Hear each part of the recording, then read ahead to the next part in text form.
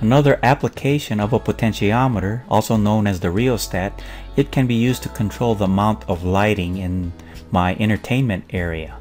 So you can see here the rope light surrounding the edges of my room is being controlled by this dimmer switch.